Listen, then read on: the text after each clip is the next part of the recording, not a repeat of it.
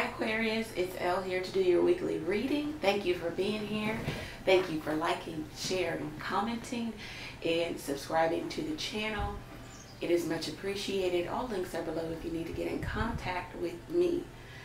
Let's go ahead and jump into this Aquarius. Thank you, Lord God, for blessing the Aquarius with a clear, concise message from you. Okay, so Aquarius, what we have this week is the Seven of Pentacles, the Two of Cups, the Nine of Swords. No major arcana here. So it says that the energy is really about what you make it or, or what you do or what you don't do. Um, it looks like somebody wants to resurface or someone has resurfaced or feelings have resurfaced to you or maybe for someone else or it's mutual. Um, but it's causing a bit of, you know, concern. Uh, this is a situation where you feel like you want to give it a lot of uh, consideration. You you got to consider what this is, um, and what does it mean for you to go backwards? Because it looks like with the um, Eight of Pentacles showing up at the bottom of the deck, this was a cyclical relationship. I mean, um, it could have been periods of where you guys were hot and it was on, it was intense, and then there are periods in this connection where there's nothing. There is inactivity. There's disconnection. There's waiting.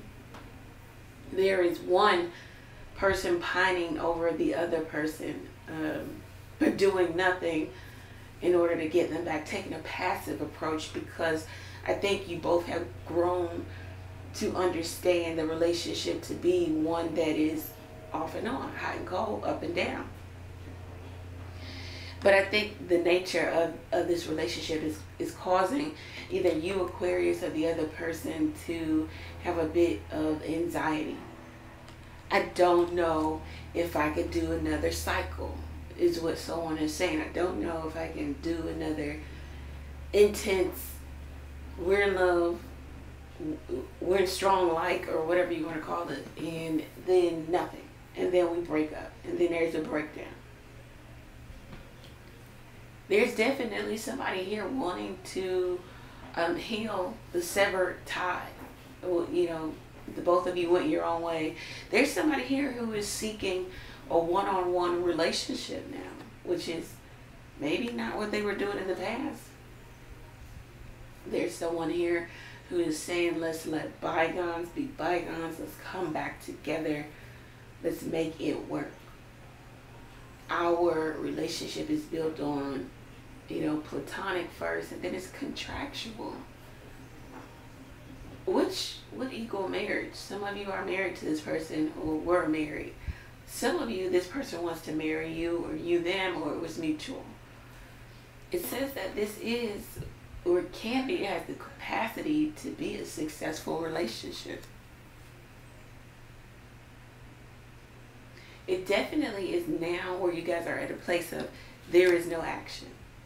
There has been a period of inaction, maybe nine months, nine weeks, um, seven weeks, seven months, I don't know, seven days.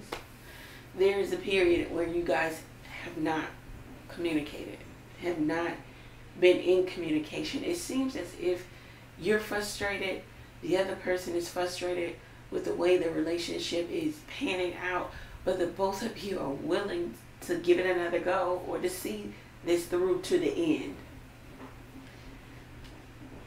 This is not the end. It's just a it's not finality. It's not final. And I think the both of you are wondering what it what is the finality of this? Is it the Ten of Swords? Is it the Ten of Cups? Is it the Ten of Pentacles? What when are we going to get to some completion? Because this off and on, hot and cold, stop, start, leave me alone. I don't want to talk to you. And then we're back together in a month or two months or whatever. it's it's not good for you. It's not good for the other person involved. Somebody also feels like I'm more invested in the connection, or there's somebody who loves the other person more than they love. Um, there's an inequality of love. Somebody loves more than the other. Somebody's willing to put the work in this. Somebody's also saying, I don't have time for love. I'm focused on my business, my work, my work ethic. I'm trying to see something grow, something get to self-sustaining. Um, sorry, that's the washer. All right, and there we go.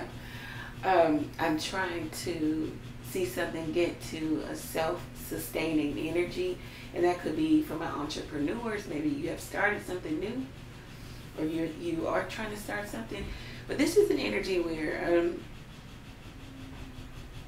it's all on you.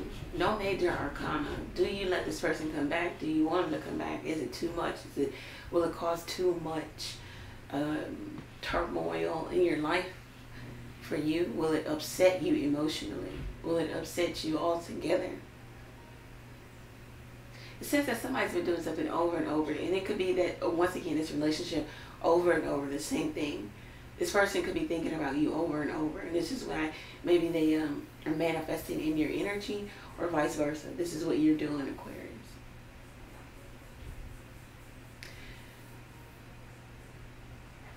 There's some self pleasure also that someone is doing in terms of bringing the other person back. That's coming up. Um, somebody feels like they they seven of pentacles they made an investment in you or on you or there is an investment made of time energy and or money and they want to see a return they want their investment to return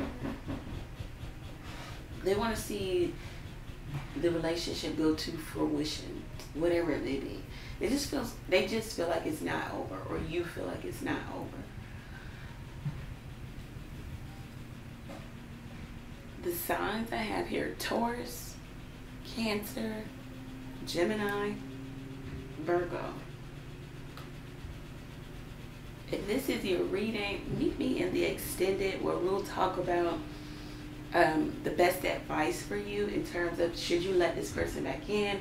Is this another cycle? What's the completion? Because we know that this is not the, the final destination of the relationship and what's this person's next action? Completion, this person's next action. Yeah. And your best advice. All right, so Aquarius, all links are below. If you want to get in contact with me, if you want to get the extended reading, the link is below. Also, you can donate to the channel by clicking the Buy Me a Coffee link. You could ask a question or two if you want the energy relative to you. Um, should I let this person back in? What should I do? Um, should I just focus on me, my business, my work? You can ask that question by texting it to the number below. Thank you, Aquarius. Many blessings to you.